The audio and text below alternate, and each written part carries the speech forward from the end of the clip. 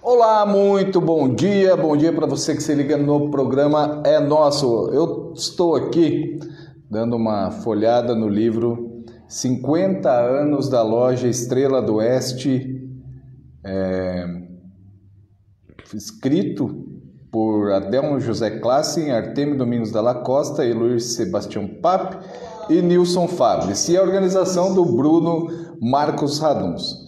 E aí, para contar um pouquinho mais sobre a história da história, né?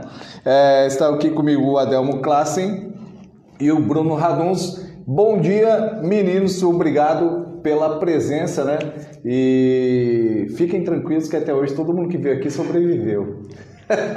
Bom dia, sejam bem-vindos. Bom dia, obrigado pela oportunidade da gente poder vir aqui bater um papo e falar um pouquinho sobre esse livro da nossa história. Que bacana.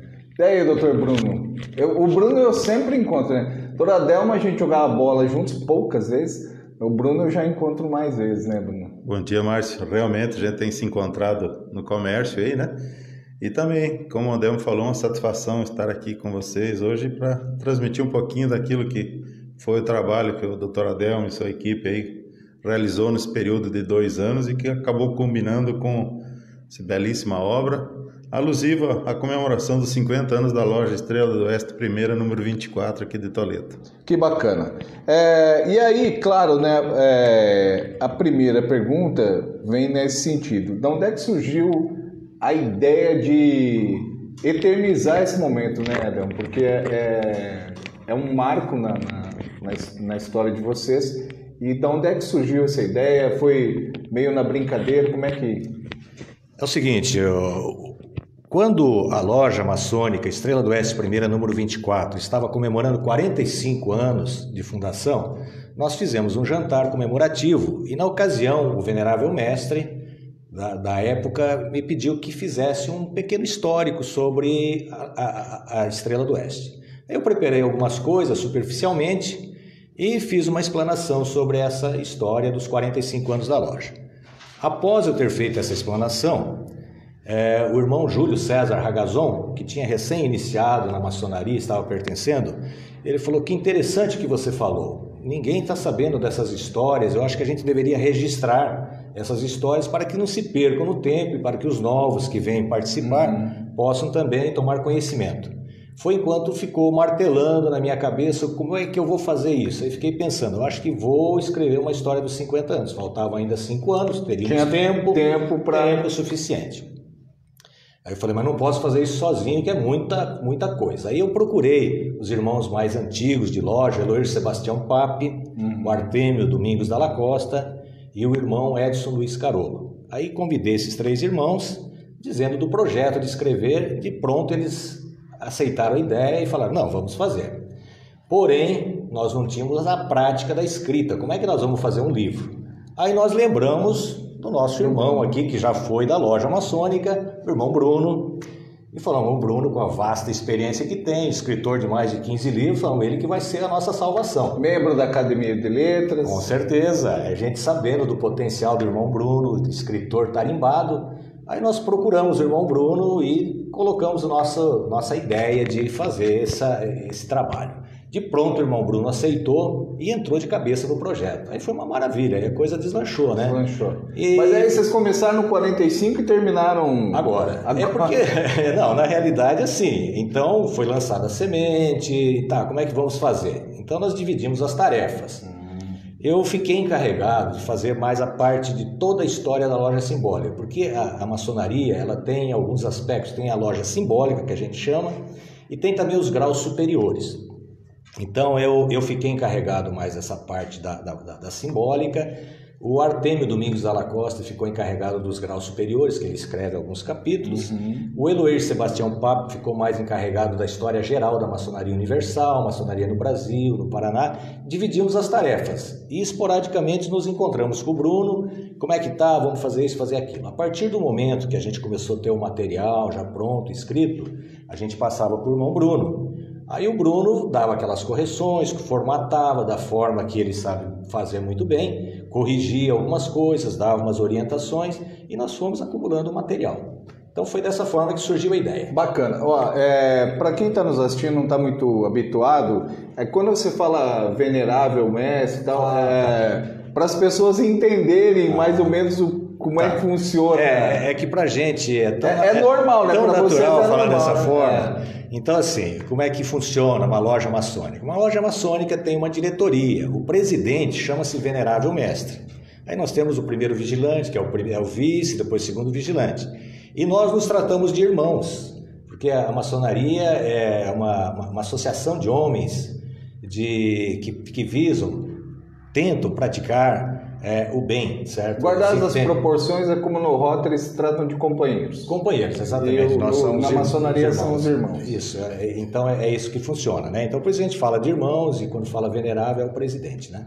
Bacana. Só para as pessoas entenderem, né? Porque quem não está habituado às vezes acha, ué, venerável mestre, mas o que, que é isso, né? Sim. Então seria o, o, equivalente ao presidente da, da loja. Exatamente. E a loja é. também é, chama loja. É quando a gente fala loja, é o local onde nós reunimos, onde, onde acontecem as nossas reuniões. Isso é chamado de loja, então, que é um templo que a gente tem e lá dentro onde ocorrem as reuniões a gente chama de loja maçônica. Bacana. Então, é isso, a gente né? tem interação. É que eu, eu vou até pedir para a Aline aqui. É para a Aline reativar minhas notificações Sabe aqui. Qual é o problema do Márcio? Ele, tá, ele fez aniversário sábado. É, obrigado, obrigado. Mudei e, de faixa etária. Ele fez aniversário, ele ganhou um celular novo, mas ele ainda não sabe lidar. Não ele sei. ajudar as aniversários. Eu sou um, eu sou um analfabete. Eu, é. Ô Bruno, é, eu, eu. Eu posso ler rapidinho. Ah, opa, claro. Cicinho Santos, bom dia, um abraço a todos, mais especial meu amigo Bruno, uma pessoa extraordinária. O César da, da Brinqueteria, bom dia, ah, muito interessante o assunto de hoje. E o Gustavo Creus, fraterno abraço aos irmãos, parabéns e muito sucesso. Muito e no Instagram bem. a gente tem o Carlos é, assistindo, bom dia Carlos, Noeli e a Marisa Toro. Legal, então, bacana.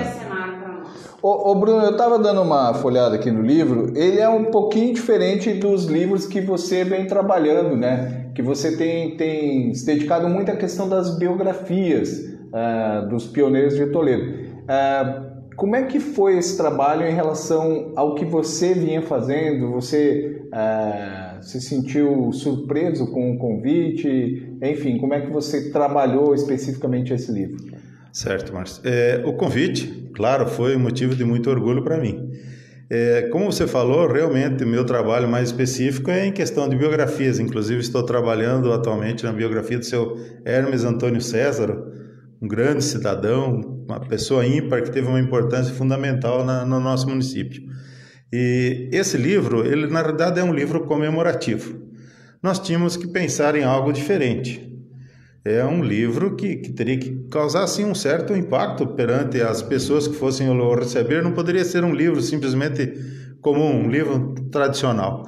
E eu acabei olhando em casa, eu tinha vários livros, aniversário 50 anos da, da, da CIT, é, vários outros livros que andei consultando e percebi que normalmente eles se transformavam em formato A4. Aí eu lancei a ideia para o grupo, claro, né, sugeri que fosse feito assim. Aí um já evoluiu para capa, capa dura, aí teve o Leonardo, que ela que nos ajudou fazendo a arte da capa, que ficou, que, aliás, a meu ver, bacana, muito né? bonita, né? Depois a Bruna vai mostrar ali. Exatamente. Mas realmente ficou muito bacana. Até então, foi um livro assim que nós é, realizamos, a, na realidade, mais como orientador do que a questão de escrever, né? Então veio tudo praticamente mastigadinho, a gente mudou várias vezes. É, tem aquela questão do livro eu, nós, o vós, o eles, você tem que sempre trabalhar numa mesma pessoa. Então esse foi o meu trabalho. E nas reuniões matinais que nós tínhamos logo cedo, no primeiro horário, eu o doutor Adelmo, é, a gente conseguiu é, transformar isso, colocar em ordem cronológica, é um trabalho exaustivo, mas gratificante, muito bacana participar desse projeto, mais um, né? E, e pra, principalmente para quem participa da loja maçônica, são os primeiros 50 anos da história. Até comentei antes com a Delma, quem será que vai escrever os próximos, os próximos 50 né? anos? Que, aliás, né? isso é tão importante quanto, né? Exato. E deixar registrado no papel, tá? Nós tivemos um jantar lá comemorativo, alusivo aos 50 anos o jantar, dois, três dias depois, as pessoas já acabam transformando, esquecendo aquilo lá, mas um livro, daqui 100 anos, certamente esse livro estará em alguma biblioteca. Aliás, é, a gente fala tanto em digitalização, inclusive nós estamos aqui nesse mundo digital, é, mas determinadas datas, né, elas parece que exigem é, essa questão do, do eternizar, né? Você foi muito feliz. Eternizar esse momento, né, Adelmo? Acho que isso uhum. também passou na cabeça de vocês. É, exatamente. Quando nós pensamos nisso, teria que deixar alguma coisa física ali, e realmente para que ficasse na nossa biblioteca, que o pessoal tomasse conhecimento e eternizar exatamente para que não se perca isso aí, né? É, ainda voltando um pouquinho, se me permite. Opa, é, o programa é nosso é. justamente é, por isso. Não, né? porque na realidade você me pediu da ideia do livro, eu falei como começou, mas ainda não, não havia concluído os outros participantes que entraram hum. depois na jogada, que eu acho que não podemos deixar Quer dizer, nós tivemos os que começaram jogando e, e os que entraram no, no decorrer da partida. Então, assim, para que fique bem claro aqui, assim. Como eu falei que as tarefas foram divididas, o irmão Eloir ficou com essa parte histórica e também ele escreveu sobre os demolês. Demolês é uma, uma, uma, participação de jovens que fazem parte da loja, chamados de demolês. Então o Eloir escreveu sobre esse capítulo. Depois também vieram se juntar ao projeto Paulo Vitor Niederauer, que escreveu três capítulos. Ele escreveu sobre os bodes do asfalto, que é os motociclistas que fazem parte também. Escreveu sobre é, as festas na, no Porco do Rolete, que nós temos um stander lá na, no, no, no, local, lá no Clube Caça e Pesca, que a gente participa, ele escreveu. E também escreveu sobre um, um grupo musical que nós temos dentro da loja chamado de Cascadura, que são alguns irmãos que gostam de tocar uma música e, e tudo mais. Ele escreveu escreveu sobre essa história. Então, o Paulo Vitor escreveu sobre isso. Também entrou o Everson Zotti, que escreveu sobre as meninas do arco-íris, que também é um, as meninas que fazem parte, que tem um trabalho diferenciado. Como tem os meninos, tem as meninas também. E o Nilson Fabres, que foi que fez todas as fotografias, que digitalizou, que colocou, que, que para enquadrar no livro, para colocar. Então, o Nilson Fabres teve essa participação. E como Bruno já falou, a capa do livro foi feita pelo Leonardo. Então eu, eu não gostaria de, de, de deixar sem registrar tá toda essa participação, porque foi muito importante, que foi um trabalho conjunto. Na realidade, foram, foram um trabalho de vários ali juntos para que chegássemos nessa conclusão dessa, dessa obra. Muito bem. É, a Estrela do Oeste fica aonde, Ela fica em frente à Funete, na rua Marechal Cândido Rondon ela fica bem em frente à Funete ali, essa é a loja. Ela, ela, teve, ela teve vários locais, então assim, podendo, se puder contar um pouquinho da história, ela começou numa casa que ficava no prolongamento da rua 7 de Setembro, que pertencia ao senhor, é, senhor Willem Vinix, que foi um dos fundadores, juntamente com Heriberto Beltler de Seco, juntamente com Timóteo Busman, que foi um gerente do Estado, que eram maçons. Então, numa casa que ficava nesse prolongamento. E as reuniões, as primeiras que aconteceram em 1969, foram no porão desta casa. Posteriormente, foi construída uma loja em madeira, um templo em madeira que ficava na rua Doutor Flores, que era mais ou menos nesse mesmo bairro. E ali então ficou até 1983 quando foi feito uma, uma loja nova, uma construção nova no local onde está essa atual. Isso aí foi feito em 1983, que nós tivemos a doação de um terreno na época do, do prefeito do Ilho Genari, daí nós conseguimos aquele terreno, foi feita a construção dessa, dessa loja nova e posteriormente foi demolida e feita essa, mas fica exatamente aqui no Jardim La Salle. é o mesmo, é o mesmo, só, só o mesmo, exatamente, aqui no Jardim La Salle, em frente à FUNED. Bacana. É bem ali que fica. É... Toledo? É. Toledo nós temos assim, eh, templos físicos nós temos três. Agora as lojas especificamente nós temos Seis, porque assim, uma loja pode funcionar no mesmo templo. Então a nossa, por exemplo, a Estrela do Oeste, ela funciona nesse templo que é na, nessa rua. Aí nós temos a Tríplice Aliança, que funciona num templo que fica próximo ao Iara, e ali tem três lojas. Tem, tem a loja Tríplice Aliança, Universitária e Palotinense. São lojas diferentes, com diretoria, com membros, só que funcionam no mesmo local físico. Usam e, o mesmo espaço. O mesmo espaço são... em dias diferentes, com diretorias diferentes, uhum. irmãos diferentes. E também temos a loja Bart que fica no Jardim Porto Alegre, lá o templo da, da, dessa loja, e que também funciona a Orvalhos de Hermon. Então lá funcionam duas. Então são potências diferentes, inclusive, que nós temos. Potência, quando você fala, Adelmo, é. Potência é o seguinte: você. É, nós temos assim a, a grande. É, as grandes lojas. Grandes lojas são estaduais, são, é a potência da qual pertence a minha loja. Então tem é, a, a, grande loja que fica em Curitiba e as lojas esparramadas por todo o Paraná, nas suas cidades, esses aí fazem parte da grande loja. Então essa é a potência que eu pertenço.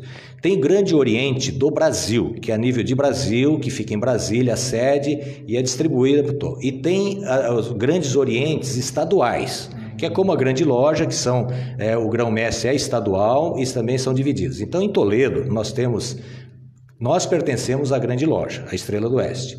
Aí a, a Tríplice Aliança e a, a, a Palotinense, a Universitária, pertence ao Grande Oriente do Brasil. E a Ville Bart, a Vale de Ormond, pertence ao Grande Oriente do Paraná. Então são diretorias diferentes, grão-mestres diferentes, os, mas os com harmonia. Os, os princípios são os mesmos, a harmonia, nós nos entendemos muito bem aqui em Toledo, visitamos, participamos das reuniões.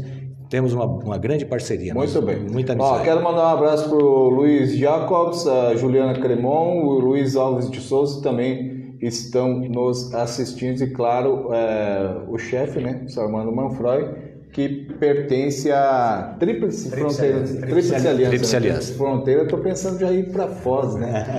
ô, ô, ô, Bruno, saindo um pouquinho desse livro aqui especificamente, você também está trabalhando na do Willy Bart, não é isso? Ou... Não, do Willy Bart é foi, o, Costa, né? foi o Luiz Alberto o Costa. Costa. Você está com o Dr. Campanholo e o Hermes Antônio César. E o Hermes César. Na realidade. O campeonato já está o quê? No, no, quinto volume? Quarto volume, está na, na gráfica, já faz um bom tempo lá, estão fazendo os trabalhos de confeccionar as chapas, né? Futuramente será lançado também.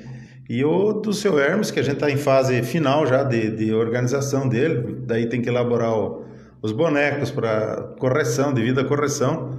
É um livro extraordinário. Esse do Willy Bart, só para ressaltar, foi iniciado o trabalho pelo Ricardo Rippel, que é professor lá da Unioeste, ele trabalhou durante seis anos nas pesquisas, né? E o Luiz Alberto Costa agora fez a arrematação final, a conferência, a organização final. Outro livro interessante. E usando esse espaço, né, eu acho interessante resgatarmos as histórias desses pioneiros, porque sempre me diz o doutor Avelino Campagnolo que cada pessoa que você vai é uma biblioteca que ele leva junto consigo. É. Verdade. Então seria interessante que cada pessoa que teve essa sua participação registrasse, e é o que está acontecendo. A gente tem o seu Arnoldo Bonin, é, tive o privilégio de fazer, nós temos prontos um, pronto um livro do Lamartine Braga Cortes, em parceria com o Pitágoras da Silva Barros.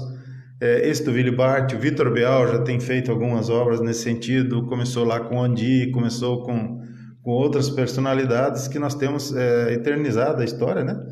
Para não se perder. Mais uma biblioteca. biblioteca. Então, esse Verdade. trabalho é muito agradável. Dr. Lamartine Queles foi um dos poucos paranaenses que chegaram em Toledo na sua, na sua construção, né? Em 1955 ah. ele chegou, de avião, claro, na época era quase que intransponível por estradas, né? É, quando olhou lá de cima aquele tapete verde, ele se assustou, ele falou, nossa, aonde eu vim parar? Aonde eu vim parar.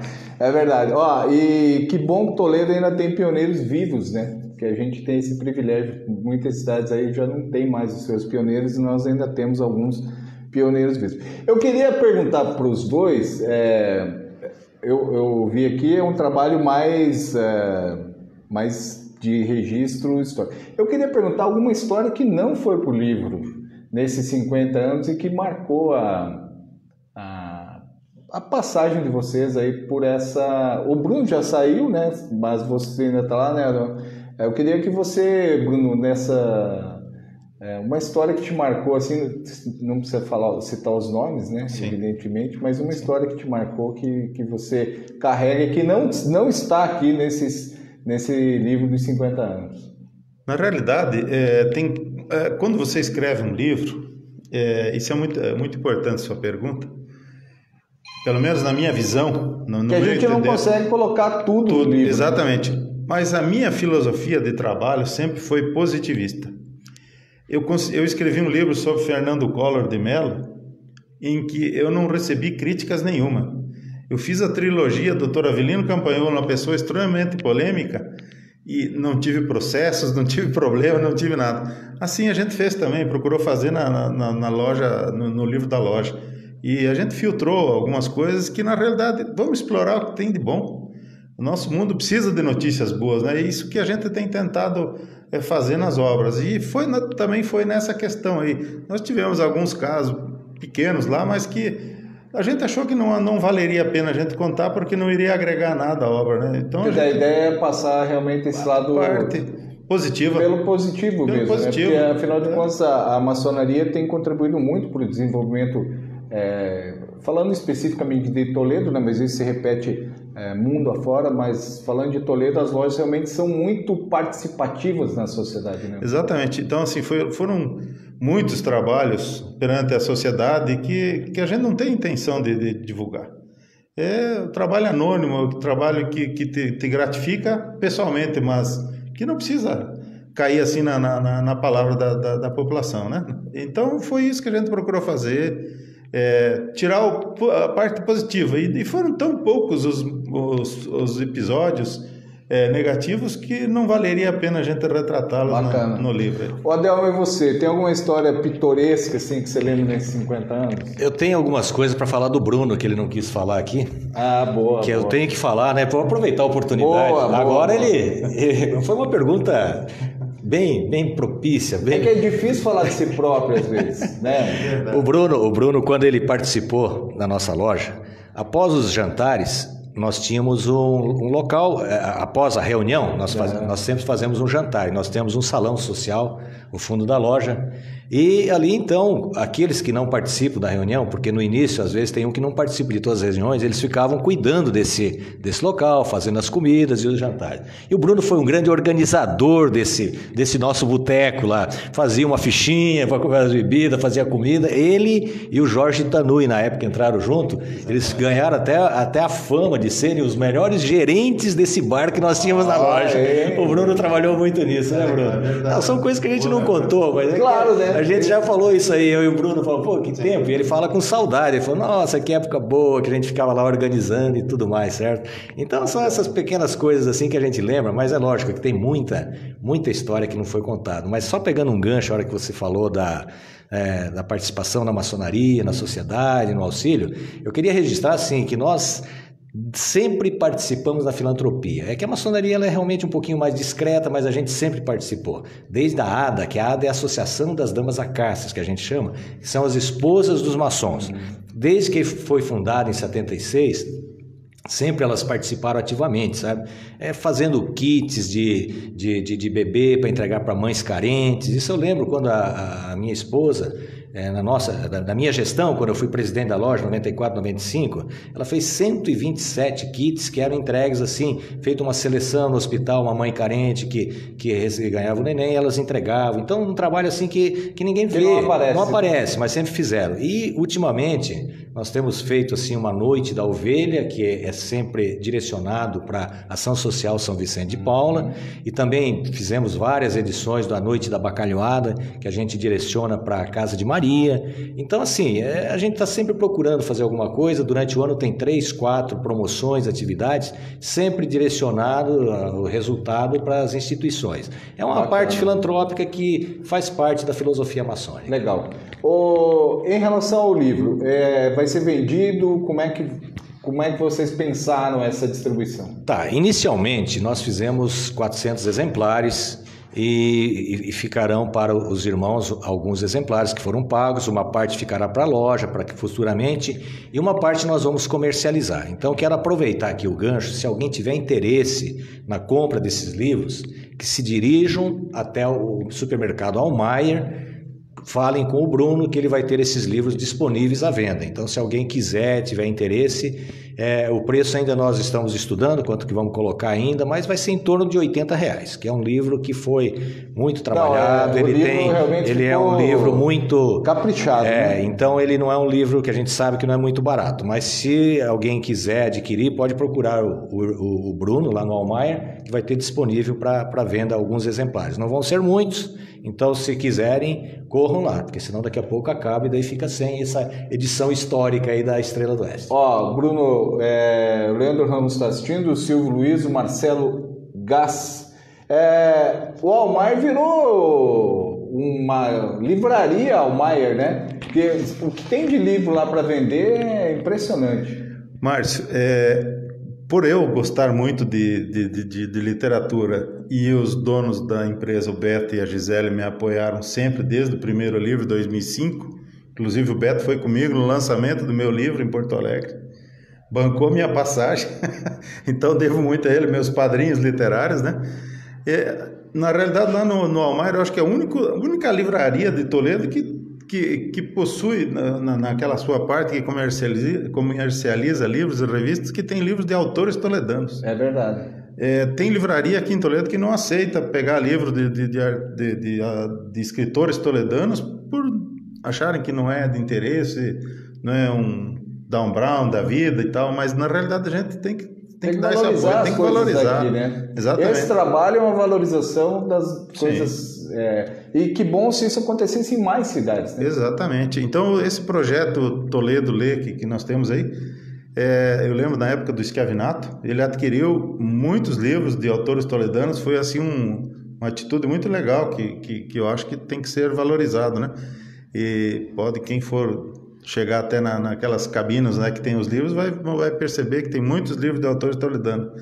Nós temos a Academia de Letras aqui funcionando em, a pleno vapor, a Lucrécia Welter hoje é a presidente, e tem contribuído muito para a cultura do município. E olha, eu confesso a ti que Toledo acho que deve ser um celeiro de, de escritores, porque são, a cada dois, três meses tem um livro sendo lançado. É Isso é, é maravilhoso, né? Pra, e num, acho... num, tempo em que muitas livrarias fechando, né? Exatamente. É, o mercado literário é, numa recessão aí, mas em Toledo a gente tem ido na Sim. contramão aí da história. Inclusive, Márcio, é, eu quero parabenizá-los, Jornal do Oeste, por ser o único jornal impresso aqui da é. nossa cidade.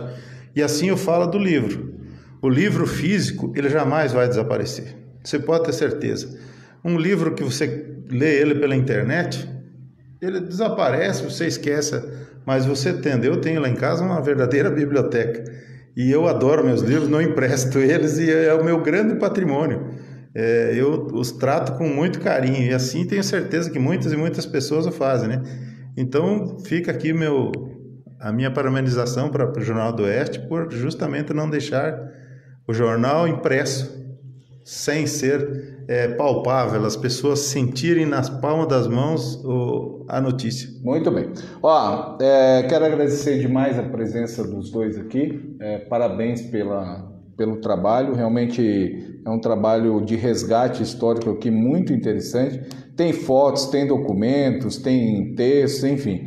É bem bacana mesmo quem tem interesse em conhecer um pouquinho mais sobre a história da Estrela do Oeste, loja maçônica Estrela do Oeste, que completa 50 anos em 2019. E tradicionalmente aqui, o convidado pede a música. Como o Bruno já é de casa, eu vou passar a bola para o Adelmo escolher a música que encerra o programa. É, enquanto isso, eu vou dar um tempinho para você pensar.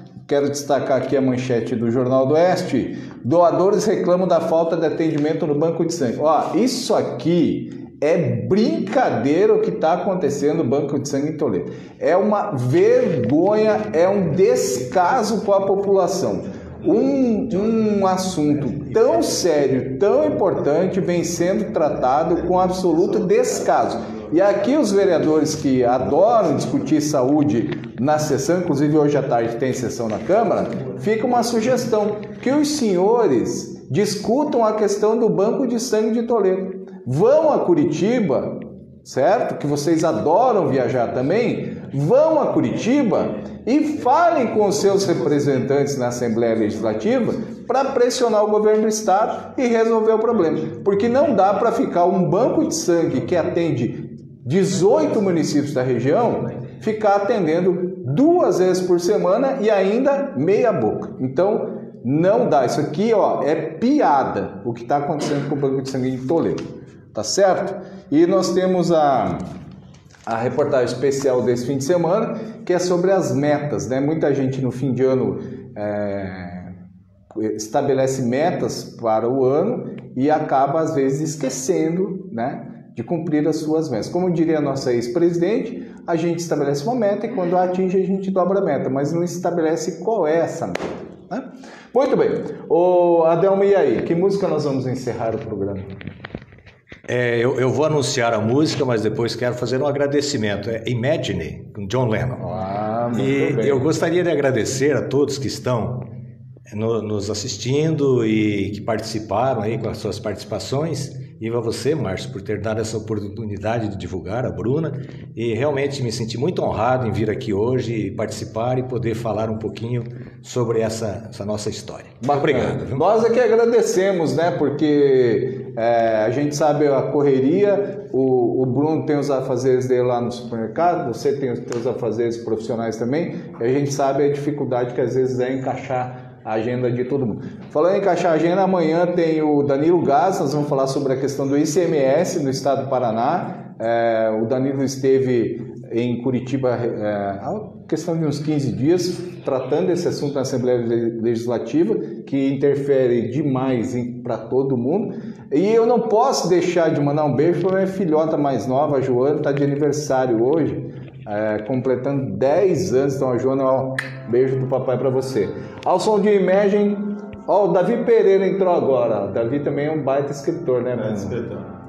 É, Davi, acompanha, daqui a pouquinho você pode ver toda a entrevista é... no Jornal do Oeste, né? Fica lá no, no nosso site, www.jornaldoeste.com.br e faça como eu fiz agora, graças a Aline, não esqueça de ativar suas notificações para receber as nossas lives. Então, ao som de Imagine do John Lennon, a gente vai encerrando o programa nosso desta segunda-feira, 15 de julho de 2019. Ótima semana a todos!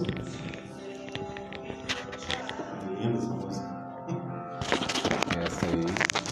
Deve ter aí umas 100 músicas que elas vão ser